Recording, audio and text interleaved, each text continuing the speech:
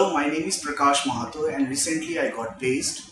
My qualification is MCA and after MCA I was I, I want to be a network engineer. Then I searched on Google and I found Network Bulls is the best place for me.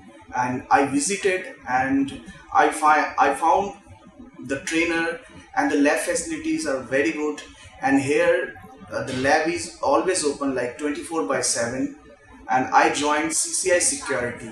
And during my journey, uh, I faced many problems, but here the na- the training team and the management team is very good. They supported me always. And after completion of the course, the placement team is very good. They helped me a lot.